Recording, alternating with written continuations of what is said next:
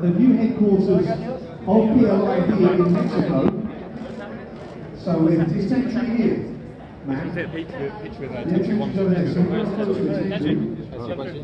okay.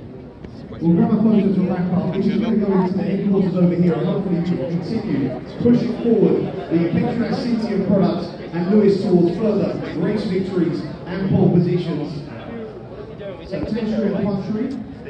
Yeah, we got everybody. All eyes to Steve. Steve, if you could command us Okay, now. just straight to this camera. That's brilliant. Straight this back this way. Yeah, thank you. Oh yeah, yeah. Okay. Everybody.